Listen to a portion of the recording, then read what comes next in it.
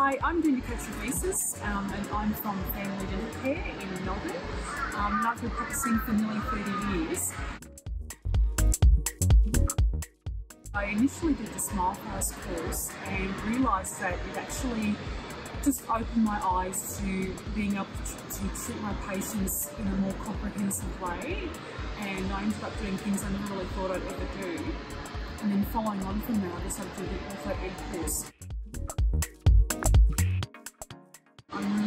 I did it. It's really comprehensive and really informative and there's great support. I find that Jeff and Robin are fantastic um, and they're really there for you 110%.